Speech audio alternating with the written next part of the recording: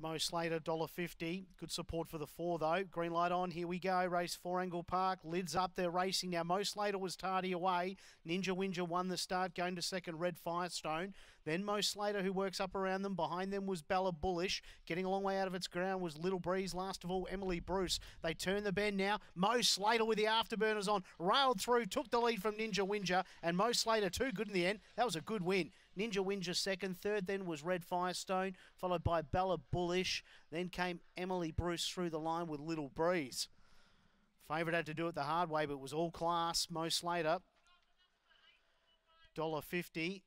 Fixed price market in a time here of 1955. So has reeled out a really nice time. Mo Slater defeating the four Ninja Winja. It stepped a lot better. It had every possible chance. The five ran third. That's Red Firestone. So was nowhere near the leaders, but uh, a nice run after that thumping win at Gawler. And the two, Bella Bullish, rounds out our top four. So it'll be 8 4 5 2 in a time of 1955. Section 1, 448, second 758, home in 1197.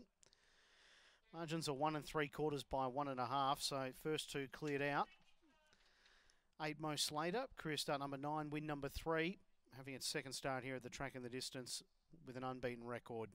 Trained by Wendy Sebastian, owned by Rovers Return Racing. Congratulations to them.